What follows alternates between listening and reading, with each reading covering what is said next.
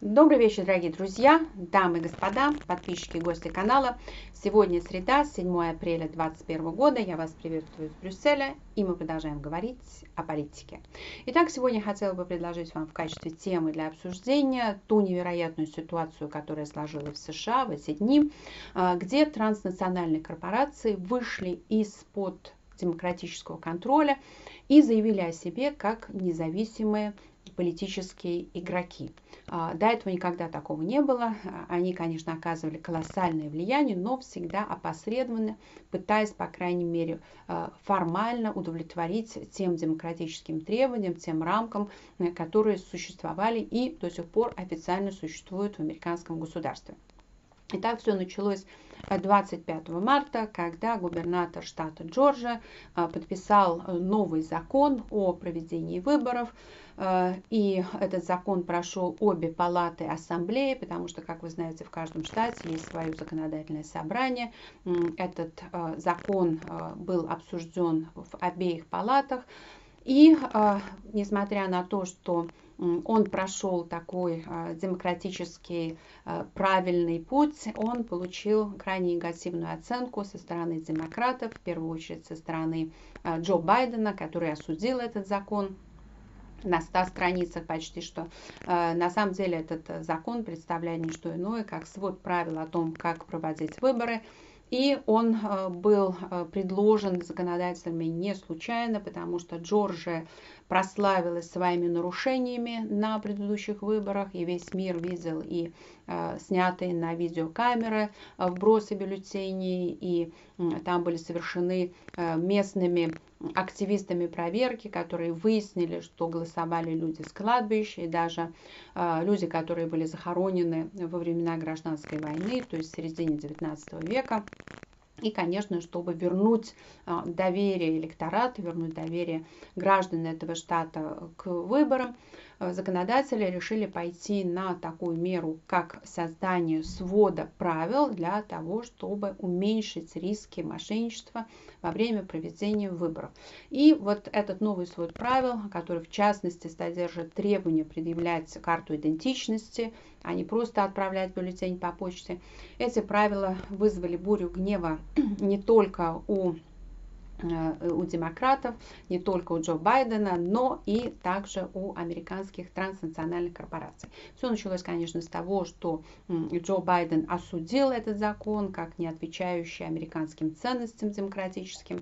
А, его а, поддержали, но уже в стиле крещенда а, другие демократические политики, в частности, Ильхан Амар, вы знаете, ее невозможно спутать ни с кем. Это женщина, а, которая носит а, тюрбан и которая говорит о том, что раз у нее есть свобода, у нее есть также свобода быть несвободной и продолжать в сомалийском стиле носить платки и тюрбаны, Хотя, в принципе, конечно, логически можно предположить, что она должна была обрадоваться э, свободе, которая существует в США, и сорвать с себя платок, но этого не произошло. Она э, клялась э, на Коране, принимала присягу в Палате представителей, то есть это очень оригинальный человек. Я считаю, что ее взгляды, будучи она ультралевая, ее взгляды заслуживают особого внимания. Ну и в этой ситуации она также отличилась. Она сказала, что этот новый закон штата Джорджия, который требует от э, голосующих, от избирателей предъявлять свою карту идентичности является ничем иным, как чистым отражением расизма и э, белого э, превосходства. Да, расизм и белое превосходство часто идут руку об руку. Я хочу сделать отдельное видео про белое превосходство, оно меня очень интересует. Э, и продолжая эту тему, э, получился некие, получилась некая атака демократов на этот закон, потому что они обвиняют республиканцев в том, что это законодательство ущемляет права цветного населения, потому что у них нет карты идентичности. Э, соответственно, это касается чернокожих избирателей, это касается цветных избирателей, так называемых, это американские термины, я вынуждена их переводить, потому что именно так они сами говорят, демократы, что это касается латинос, это касается чернокожих избирателей, у них нет карты идентичности, поэтому не надо у них просить то, а, чего у них нет, и это ограничит именно возможности этой категории избирателей во время выборов в штате Джорджия. А, но, конечно, тут на ум приходят республиканцам правила в демократических штатах, например, в Нью-Йорке, где а, карта идентичности является обязательной, и там намного более э, сжатые сроки для голосования, но кого это волнует, это, это риторика, которая повторяется всеми центральными СМИ, э, потому что э, она преследует, конечно, множество целей, не только атаку непосредственно на этот закон, который упорядочивает правила голосования, но э, это также отвлекает публичное, публичное внимание от того, что происходит на границе с Мексикой. Не стоит забывать, что это очень интересно создавать новый кризис, потому что тогда избиратели или в этой, в этой ситуации избиратели, но, так сказать, общество забывает временно о предыдущем, потому что в настоящий момент продолжается кризис на фактически открытой границе с Мексикой, э, текут потоки не только беженцев, которые, э, которые пытаются начать новую жизнь, мечтают о новой жизни, которые устали от э, войны с э, наркокартелями. Но и также эту ситуацию, как я уже говорила, активно используют наркокартели для того, чтобы расширить свои инфраструктуры в США. Но теперь, конечно, это не в фокусе. Как вы знаете, сенатор Тед Круз даже не смог провести съемки того, что там происходит на границе с Мексикой. То есть демократы пытаются это скрывать, потому что Потоки нелегалов продолжают течь, и цифра 150 тысяч в марте – это только рапорты, это только те люди, которые попали на радары. Сколько на самом, на самом деле людей пересекло границу, неизвестно. Но теперь, конечно, внимание уже не к границе с Мексикой, а тем более, что вроде как а, администрация Байдена обещает а, подумать над продолжением строительства стены, вернее ее достройки, э, поэтому э, внимание к этому кризису ослабевает и переключается на другой кризис, который создан демократами с тем, чтобы атаковать республиканцев. Им это очень интересно, потому что вот эта позиция непрерывной атаки является прекрасным способом защиты от, э, так сказать, критики, от критики, которая вполне заслужена, потому что очень,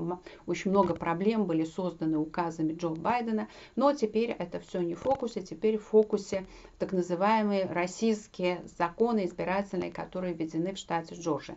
Э, и тут я подхожу к главной теме, которую я предлагаю обсудить, поведение транснациональных корпораций, потому что я считаю, что это самое интересное, самое невероятное, потому что транснациональные корпорации всегда до этого действовали в предложенных, в задуманных в легальных рамках. Э, то есть транснациональные корпорации, как любые компании, любые другие игроки, действовали через систему лобби. Система лобби является регулируемой, существуют законы, правила, э, этические правила, свод э, так сказать, этических правил как у врачей, как у адвокатов, у лоббистов тоже.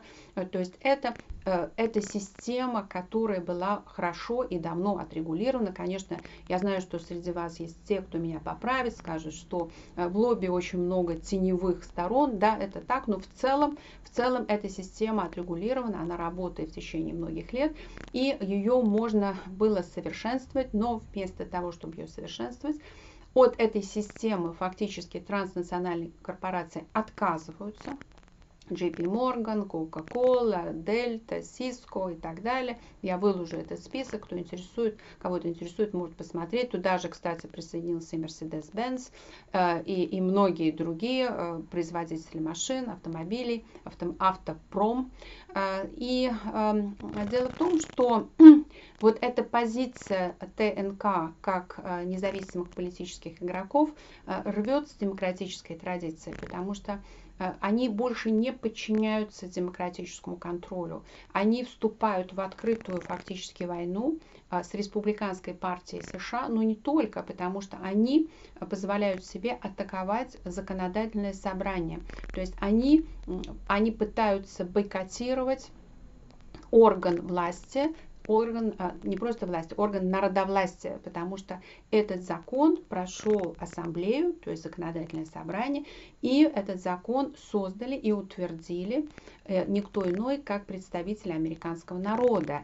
То есть то, что делают сейчас транснациональные корпорации, они э, подминают под себя американское государство, они подминают под себя демократию, потому что они отрицают право народа на законотворчество. То есть их этот закон по каким бы то ни было причинам не устраивает.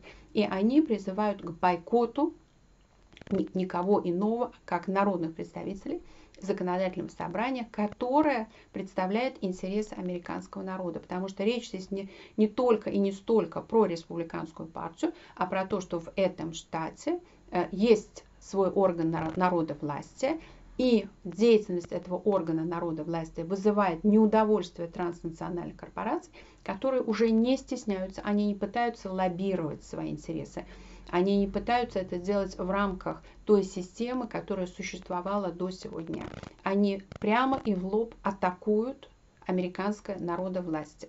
А, это, конечно, небывалая ситуация. Я внимательно прослушала интервью с президентом Трампом. А, а, это было телефонное интервью. Я тоже спрошу на него ссылку вам и рекомендую его послушать, потому что президент Трамп говорит о том, что, конечно, не остается выхода кроме как симметричного ответа, э, потому что если э, транснациональные корпорации идут э, на такую меру, они противопоставляют себя американским избирателям, американскому народу, то есть они в принципе не должны быть политическими актерами, у них нет э, на это мандата от народа, то есть это полный нонсенс, что они вдруг оказываются э, игроками, политическими игроками. Конечно, они таковыми являются, но я бы сказала, они являются замаскированными игроками. Они всегда действовали как бы добровольно подчиняясь существующим э, в демократическом государстве правилам. И э, президент Трамп говорит о том, что нас больше, он имеет в виду не только республиканскую партию, но и республиканский электорат. И если транснациональные корпорации жаждут этой конфронтации, то у избирателей, то у американского народа, который голосует за республиканскую партию, нет никакого другого выхода, как э, адекватно и симметрично ответить на э, эту инициативу транснациональных корпораций и, э, соответственно, прекратить пользоваться их услугами, покупать их товары и так далее. То есть мы видим, что кризис в США углубляется, и этот кризис представляет собой не что иное, то есть это не, не конфронтация просто между двумя политическими партиями, это намного более сложная баталия. Это баталия между американским государством, между народовластием, между демократическим правлением и транснациональными корпорациями, такими, такими скажем, как Coca-Cola, которые делают 70% своих доходов вне США, э, которые успешно подминают под себя американское государство, преследуя свои узкокорыстные, скажу так, цели. А, меня интересует, конечно, ваше мнение, особенно наших американских собеседников, как они это переживают в США, а, потому что, а, конечно, такое, такая атака на демократию будет иметь крайне негативные последствия и для жизни европейских государств, и для Евросоюза, и для нас всех. Я желаю всем приятного вечера и жду ваших комментариев.